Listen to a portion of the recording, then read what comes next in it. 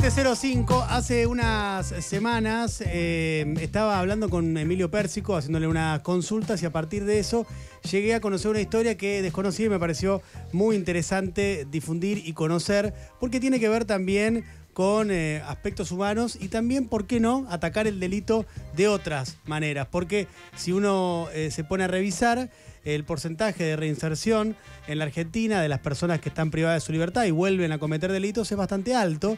Y uno se pregunta, bueno, pero ¿por qué? ¿Qué es lo que está pasando ahí?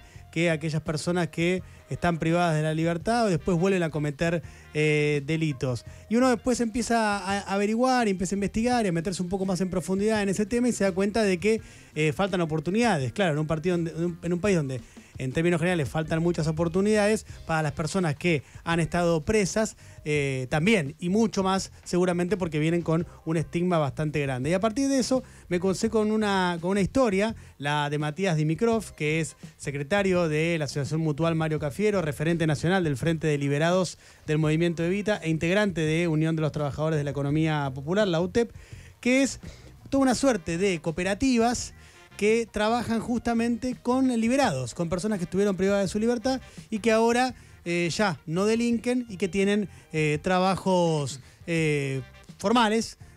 tal cual conocemos la mayoría de nosotros. Bueno, para charlar sobre esa historia en profundidad, está con nosotros Matías, a quien le doy la bienvenida. ¿Qué haces, Matías? ¿Cómo te va? Hola Diego, ¿cómo estás? Gracias por invitarme. Gracias, che, un placer que estés acá con nosotros. Matías, primero, ¿querés contarnos un poco de, de, tu historia, de cómo llegaste vos eh, a, ahora a tu presente, pero por lo que pasaste antes?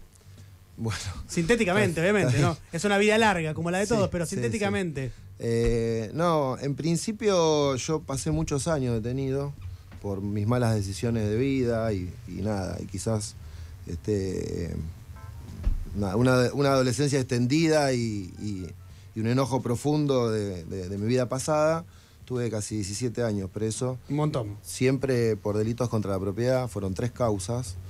En esa vida me, pasaron de todo tipo de cosas, desde causar una zona de desastre entre todos mis afectos, toda mi familia, hasta también nada, haber dañado, dañado cosas, lastimado gente, no lastimado gente en sí misma, pero sí atentar contra la propiedad de personas que, que no tiene nada que ver, digamos, con, esa historia de mi vida. Eso me llevó a pagar 17 años de cárcel.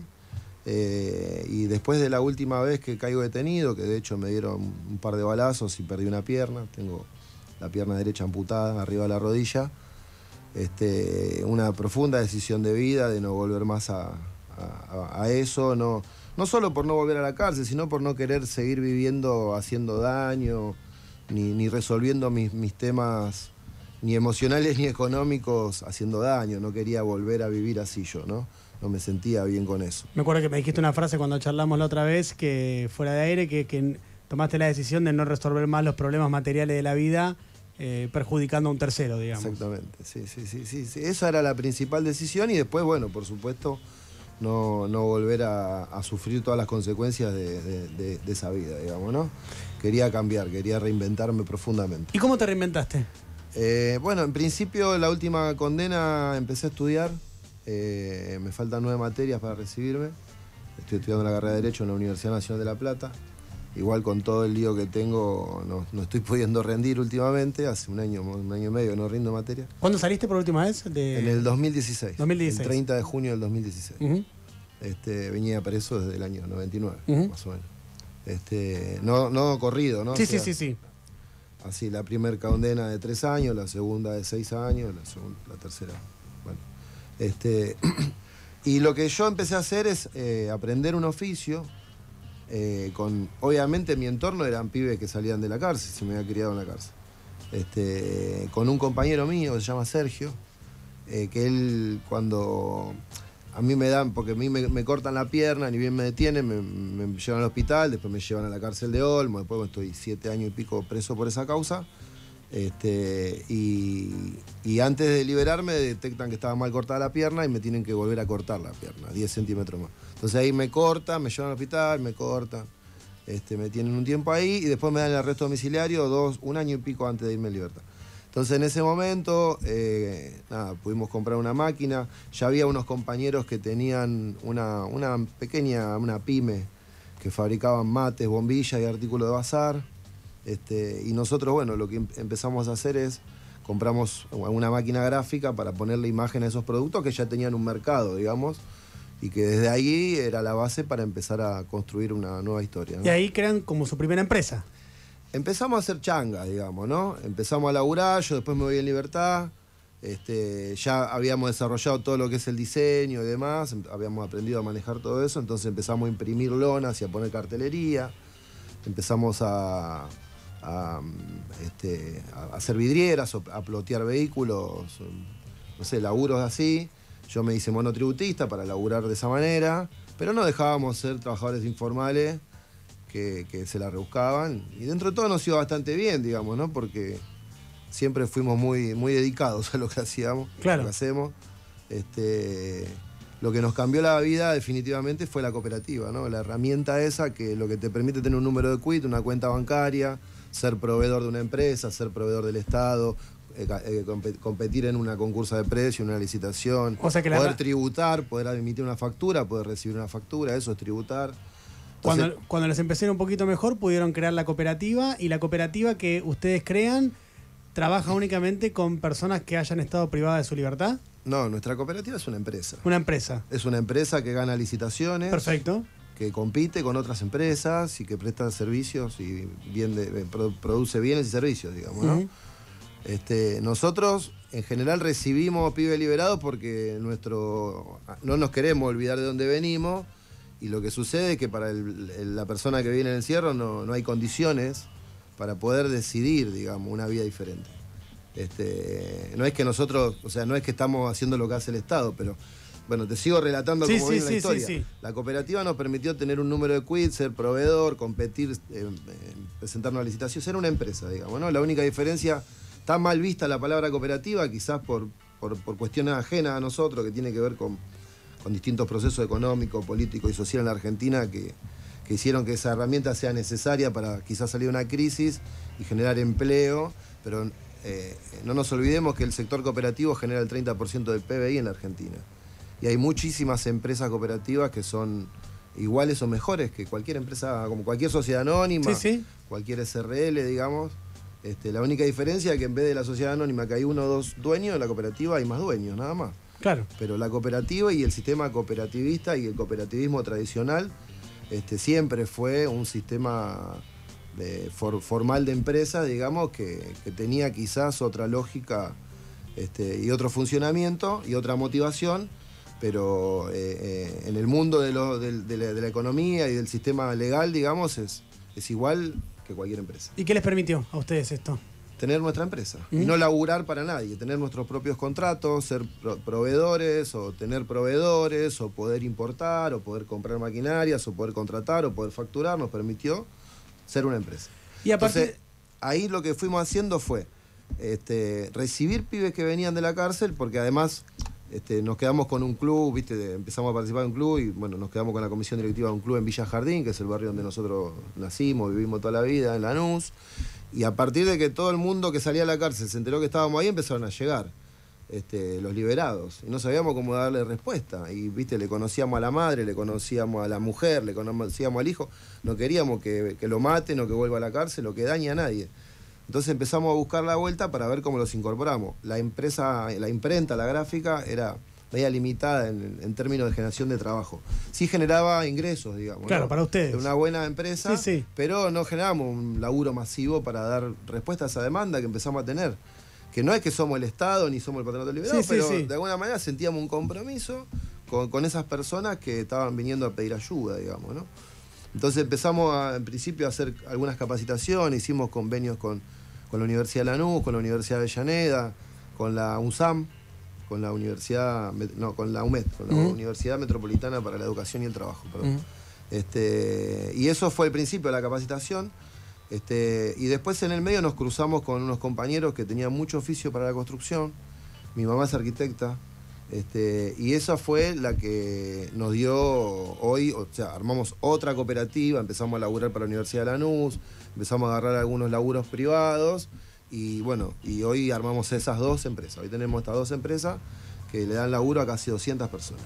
y de ahí, eh, la- muchos de ellos son, li- son liberados. Claro, bueno, en una empresa constructora, una cooperativa constructora, o en una empresa gráfica no podés no tener un arquitecto, no tener un diseñador gráfico. O sea, hay un universo, los capataces en general son personas que vienen de mucha experiencia de obra, laburaron en Techín, laburaron en diversas empresas, pero este, nosotros le damos lugar a los liberados porque, bueno, porque lo queremos hacer, porque lo sentimos, porque no nos olvidamos de dónde venimos este, y bueno, la idea es esa también, ¿no? Empezar a generar condiciones para que la persona que sale pueda elegir, decidir su vida, digamos, ¿no? Si decide volver a hacer una cagada, bueno, que le den con el código penal en la cabeza y que se arregle con el juez y con el director del penal.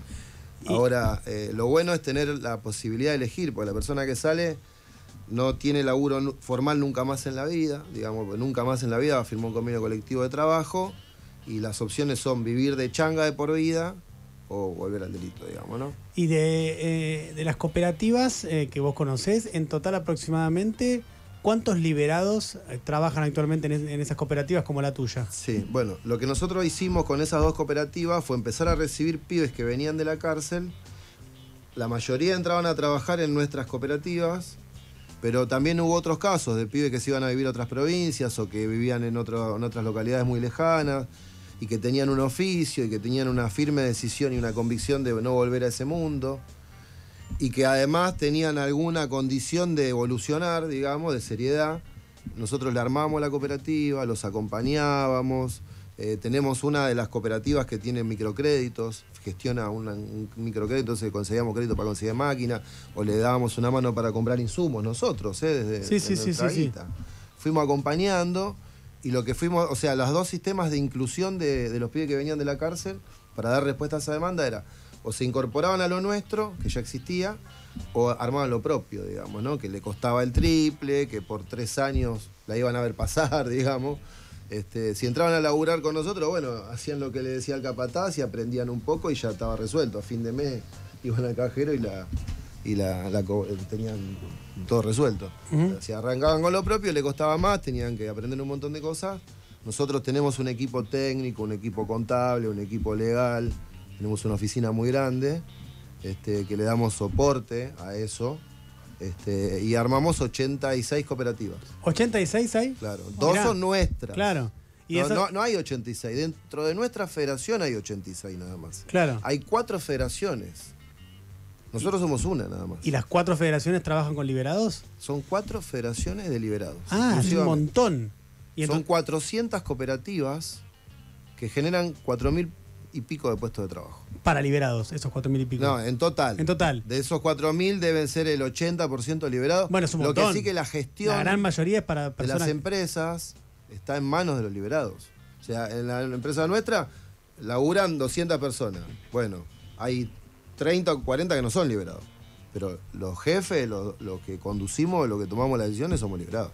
Estamos hablando con Matías Dimitrov. Matías es secretario de la Asociación Mutual Mario Cafiero, referente nacional del Frente de Liberados del movimiento Evita. Estuvo 17 años privado de su libertad y ahora hace tiempo ya que trabaja eh, con sus empresas y le da trabajo a eh, otras personas que también han estado detenidas. Matías, ¿y mm, qué cambia en esta gente porque vos ya sabes tu experiencia personal, la tuya, lo que a vos te pasó esos 17 años presos, hasta un momento dijiste, no quiero más esto, salís, formaste tu empresa y bueno, y ahora todo lo que ya nos contaste.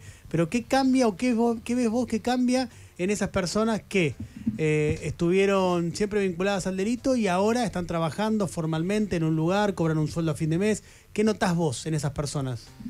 Cambian profundamente. No es que todos los que llegan cambian, ¿no? Es una decisión personal de todos los que llegan hay una parte que se queda y otra que no se queda.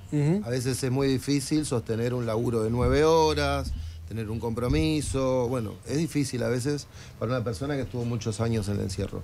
Pero los compañeros y las compañeras que, se, lograron quedarse, digamos, eh, hay una evolución profunda en esas personas. Nosotros vemos que, para decirlo de alguna manera, cada uno de ellos fue encontrando su mejor versión a través del trabajo. Porque no solamente al trabajar tienen un sueldo y resuelven sus problemas materiales de la vida. la mesa que, se va a escuchar.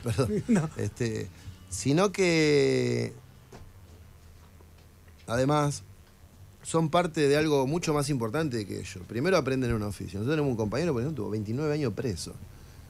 Y el pibe entró como ayudante, hoy es capataz, hoy gana 400 lucas por mes. Capataz de una obra que, por ejemplo, se está haciendo un hospital en Moreno, la ampliación del hospital, del hospital más grande de Moreno. Él es capataz de esa obra. Tuvo 29, 29 años en la cárcel, pasa por ahí y le dice a los hijos, esto lo hice yo. Ya hicimos viviendas con ese pibe, ya hicimos obras importantísimas. Entonces, esa persona va encontrando su mejor versión en la vida, se va desarrollando, encuentra condiciones para su desarrollo, económico, humano, personal, familiar, digamos. ¿no? Eh, vos recién decías esto de que hay gente que no se acomoda no, no tolera el ritmo de laburo de nueve horas y qué sé yo. Eh, cuando vos hablas con, yo hago economía, hablo con empresarios, y hay una queja recurrente en que la gente no está capacitada para laburar un ritmo de nueve horas, ocho horas y demás, cobrar un presentismo y demás. ¿Cómo es en tu experiencia y en la experiencia de eh, la mutual esto, digamos, el acostumbramiento a una jornada de laburo, a aprender un oficio? ¿Quién lo aguanta? ¿Quién no lo aguanta? ¿Cómo lo ven ustedes? Bueno, ahí capaz que hablamos un poco más de política, pero yo creo que mm, eh, eso es algo que no pasa solamente a las personas liberadas, digamos, pasa en, general en la sociedad, ¿no? O sea, nosotros a veces también tomamos pibes que no son liberados, estamos haciendo una obra, viene un pibe 10 veces a la puerta de la obra, vemos que es un pibe que si no lo tomamos dentro de una semana está en cana, ¿viste? Bueno, lo tomamos, hacemos eso también. Este, además tenemos clubes de barrio, tenemos un, esquema sociocomunitario, tenemos más de 20 clubes de barrio, estamos en todo el país, ¿no? Este, y tomamos pibes que sabemos que van acá en cana o que vienen mal y qué sé yo. Yo creo que eso sucede porque en la Argentina pasaron distintos procesos económicos, políticos y sociales que dejaron a la vera del camino a miles y miles de trabajadores, digamos, ¿no? O sea, hasta el año setenta y pico eh, el pleno empleo existía, de ese, de ese 100%, ese 98% de trabajadores que había en la Argentina, todos estaban registrados, y eso es una decisión política, era. Bueno, hubo una decisión política o varias decisiones en distintos procesos económicos y políticos de la Argentina que hicieron que una parte importante de todos esos trabajadores se queden a la vera del camino. Nosotros hoy calculamos de la UTE que hay más de 10 millones de trabajadores informales en la Argentina. Y no hay políticas para esos trabajadores. O sea, no hay una agenda política desde nuestra dirigencia quizá que de alguna manera desarrolle políticas para, para, para ver este tema, digamos, ¿no? Entonces eso fue pasando en la Argentina y muchas generaciones de familias que no tuvieron acceso al trabajo no fueron transmitiendo esa cultura del trabajo. Eso es lo que sucede. ¿Quién viene a resolver o a, tratar de de alguna manera sostener el entramado social de ese universo? Y bueno, la UTEP o la economía popular, que es esa economía informal, esos trabajadores sin trabajo que, que sobreviven con la changa, digamos, que se fueron uniendo en cooperativas no sé si todo es igual, por lo menos en nuestro caso es así, ¿no? Este, y que eso fue generando condiciones mejores para esos trabajadores para discutir el precio de su trabajo y el precio de su salario, para discutir su trabajo y su salario, digamos, ¿no? Eh, eso generó mejores condiciones para discutir el, el, valor de nuestro trabajo. Yo cuando era changa sabía todo lo de la gráfica, ganaba mucho menos, que cuando armé la cooperativa. Y yo sabía lo mismo y hacía lo mismo, pero ganaba mejor, digamos, porque tenía mejores condiciones para discutirlo. Matías, ¿si tienen algún tipo de eh, acompañamiento de carácter estatal estas cooperativas? Bueno, últimamente hemos tenido alguna ayuda, pero esto nació absolutamente genuino y autosustentable. Este, sí tuvimos acceso en este último gobierno, pues esto tiene más de 10 años, Imagina que no armás 400 empresas, no, está claro. una varias federaciones y una mutual en, cuatro años, ¿no? Este, porque nosotros también logramos construir una agenda de unidad entre todas las bandas que había armando esto. Que se fue dando porque fue toda una generación. Y yo quiero decir, esto es un análisis mío, no sé si es así, pero todos los que de alguna manera en la calle nos fuimos cruzando, que pasamos la vida en cana, este, y que teníamos otra idea de la vida, digamos, y estábamos en el camino de reinventarnos de alguna manera, habíamos pasado por, un centro de estudiantes o alguna universidad en la cárcel. Y creo que esa fue la semilla fundamental que nos permitió. Ese es un hilo, es un hilo conductor. Vos, vos ves que, la mayoría de las personas liberadas que después de alguna manera encuentran, como vos decís, una nueva forma de vivir, es porque tuvieron algún tipo de formación en la cárcel. Acceso al conocimiento y fueron algunas universidades Em, que siempre fue con, disputa, nunca fue que el servicio penitenciario o una política del gobierno de la provincia o del Ministerio de Justicia de traer las universidades a la cárcel, ¿no? Fue una decisión, por ejemplo, la Universidad Nacional de La Plata, de venir a acompañar algunos casos puntuales. Por ejemplo, yo cuando llegué a la universidad, a la unidad 9 de La Plata, que estaba en, Sierra Chica, en varias cárceles, llegué a la unidad 9, que era el único lugar donde se podía estudiar, había un convenio del servicio penitenciario, no del Ministerio de Justicia, del servicio penitenciario, con la facultad para que vengan una vez por año a tomar las primeras seis materias de la carrera libre. No había material de estudio, no había nada. Le pagaban, digamos, a los docentes que. Vos dabas la materia 6, la número 7 tenía que ir a rendir a la calle. Y si el, juez no te daba la autorización de que el servicio te lleve, aunque te lleven con la ametralladora, pero no te llevaban, ya estaba, era de juguete, era un chupetín de lata, digamos eso. Este, nosotros de alguna manera nos organizamos, hicimos un par de cosas, logramos que venga a la universidad y se firmó otro convenio, donde ya la universidad venía con, clases y demás. Y tuvo pero porque nos organizamos nosotros. Claro, y tuvo efectos prácticos eso. O sea, Muy la cabeza después, de después, cambió con eso. Totalmente, pero además de que la, Facultad de Derecho vino a la cárcel, después otras facultades empezaron a ver esa experiencia y tomaron la decisión ellos de venir. Y fueron a armar un convenio con el ministerio y trajeron y financiaron las universidades y varias universidades, no es la de La Plata sola. La de Loma también va, bueno, hay varias que van. Este, eso creo que fue eh, una semillita que a nosotros, el acceso al conocimiento es central para el desarrollo de cualquier persona. Eh, parece un, lugar hecho lo que, lo, que voy a, decir, algo de sentido común, pero por lo que vos contás, parece evidente que tanto con estímulo de estudio más oferta o posibilidades eh, laborales, estás también generando una política de carácter preventivo en materia de seguridad. Por lo menos de lucha contra la reincidencia, que es un factor central del delito. Claro. Y de la inseguridad. Por lo menos, como mínimo. Digo, y no existe en la cárcel eso. Lo que hay es porque la universidad lo hizo, no porque hay una política de Estado que promueva eso.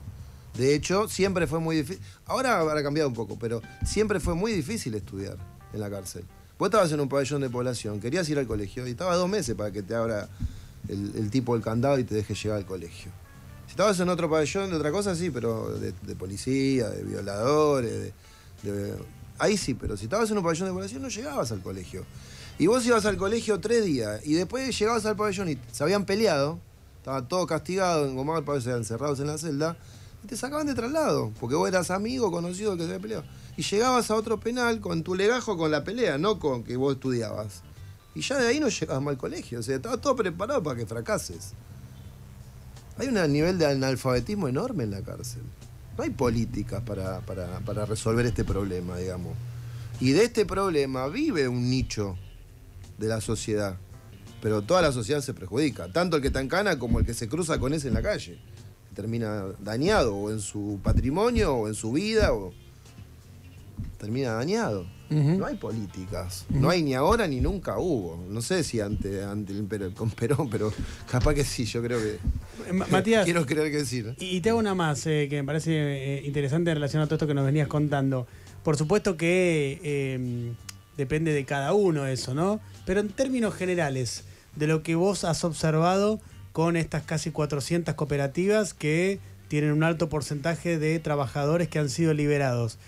Eh, en términos mayoritarios, esas personas que han sido liberadas, ¿se quedan trabajando? Sí, no eh, vuelven nunca más. No vuelven al delito. No vuelven nunca más porque no solamente es el hecho de trabajar y tener un sueldo, aprender un oficio, ser parte de algo mayor. ¿Tú sabes lo que es para un pibe que salió de la cárcel hacer una casa y entregársela? Nosotros hicimos vivienda en Isla Maciel, estamos haciendo ahora en Villa Inflamable, estamos haciendo en Moreno, en barrios donde... Eh, hicimos un colegio en Moreno, por ejemplo, en un barrio que se llama Villa Nueva, que ahí no entra el Estado, no llega el Estado. Y, Mariel me mandó ahí para que nosotros podamos entrar porque nos conoce, entonces nos criamos... Mariel eh, Fernández, la intendenta, ¿no? Sí, sí. De Moreno. sí una persona muy sensible y especial para nosotros, ha transformado profundamente, lo está transformando, y ahí no entraba el Estado, ahí no llegaban ellos. O sea, las empresas que iban salían, pero de, flequillo parado, porque, bueno, todo un universo muy complejo ahí. Mariel mandaba al, municipio a desmalezar, por ejemplo, y los, atacaban con machetes, cosas gravísimas pasaban. Bueno, como nosotros nos criamos con pibes de todas las villas, toda la Argentina, conocemos a todo el mundo, ¿viste? Llegamos ahí, ni se acercaron. Terminamos un colegio con aire acondicionado, frío, calor en todas las aulas. En el Zoom, en la sala de profesores. Los chicos de, ese lugar van al colegio, tienen un laboratorio de última generación.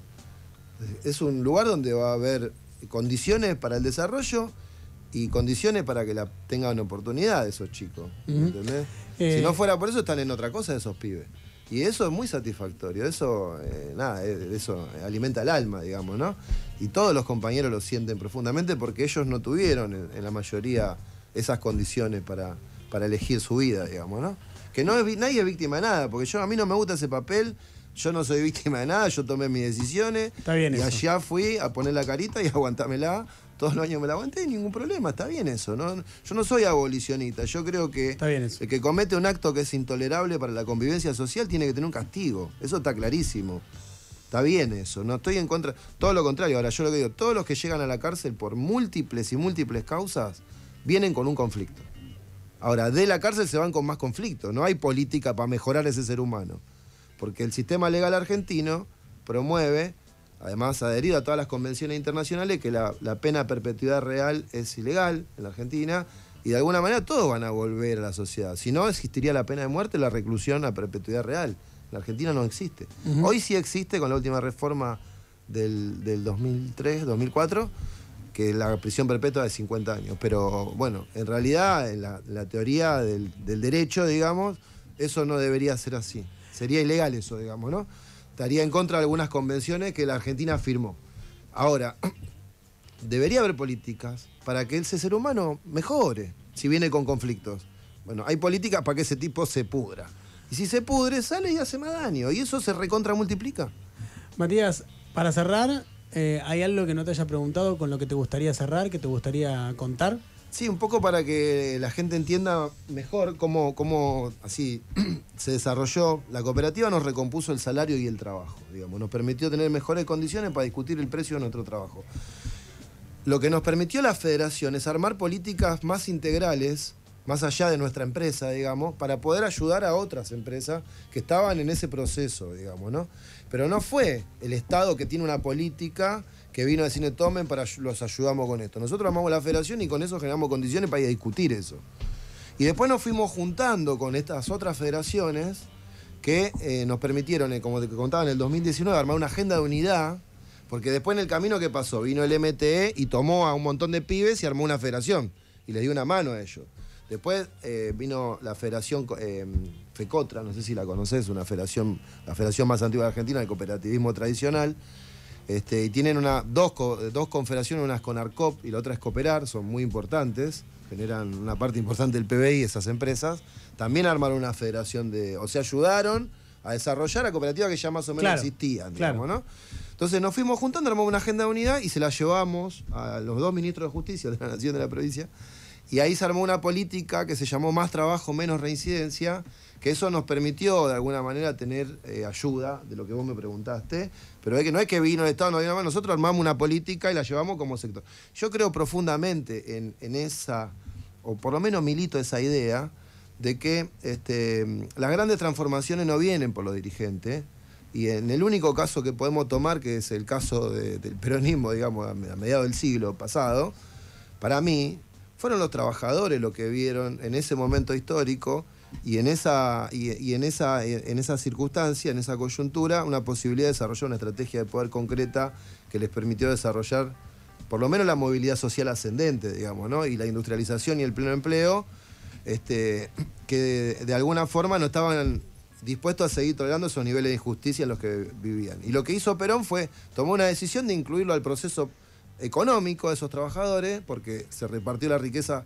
que se producía en la Argentina con los trabajadores levantándose todos los días a las 5 de la mañana, se, repartió 50-50 y además lo integraron al proceso político al trabajador. Y desde ahí el trabajador desarrolló políticas que mejoraron su vida y, generaron las condiciones de movilidad social ascendente. Entonces nosotros creemos en esa idea, por eso nos organizamos como sector. Quizás en esa sociedad era una sociedad más homogénea, hoy esta sociedad es más heterogénea, pero el caso concreto de un sector que se organiza para conquistar derechos es el caso de los feminismos, ¿no? por ejemplo, que consiguieron leyes, que consiguieron avances, que consiguieron derechos. Entonces nosotros creemos en esa idea y creemos que las revoluciones o las transformaciones se, logran desde ahí, digamos, no desde, desde la revolución de los dirigentes, sino que hay que organizar esos sujetos sociales que de alguna manera este, son los que producen las transformaciones para, para ellos mismos, digamos. Muy interesante ¿eh? escucharte, es Matías eh, Dimitrov, eh, él estuvo 17 años detenido, salió en 2016, fundó junto con otros compañeros una empresa, después cooperativas, después otras cooperativas, después una federación, ahora una mutual, y trabajan en gran mayoría con personas que salen de estar detenidas, salen de estar privadas de su libertad y buscan reinserción en la sociedad. Eh, Matías, gracias, por la entrevista. Una cosita más que me quedó. En noviembre del año pasado, todos juntos presentamos una ley en el Congreso. El Congreso está frenado, no funciona, pero vinieron diputados de todos los colores, un montonazo. Y se trata de que la ley eh, propone crear un programa donde se creen 100 polos productivos. La, productiva, la productividad de nosotros es una característica. Dicen todos los compañeros y compañeras de economía popular que los dos sectores más productivos son la fábrica recuperada y nosotros. Nosotros tenemos cooperativas que exportan. Dentro de la federación hay una que exporta a seis países. Este, y competimos con las grandes empresas y les ganamos. Eh, y. Mm, la ley. Claro, y presentamos una ley que la idea es que traslademos toda nuestra matriz productiva adentro de esos galpones, pero que exista una política que tenga todo un sistema de educación formal obligatorio, eh, centro de formación profesional para especializar eh, los oficios y los trabajos y un equipo interdisciplinario para tratar otras cuestiones como la revinculación familiar, los consumos problemáticos y otros temas. Y creemos que con eso es una base mínima para generar condiciones para que las personas que salgan del encierro puedan decidir otra vida. Si deciden la misma vida, bueno, con el código penal en la cabeza, ya saben. Clarísimo. Matías, gracias por haber venido, un placer. ¿eh? Gracias a ustedes por invitarme, Diego, y a todos los compañeros. Gracias. Hasta las 10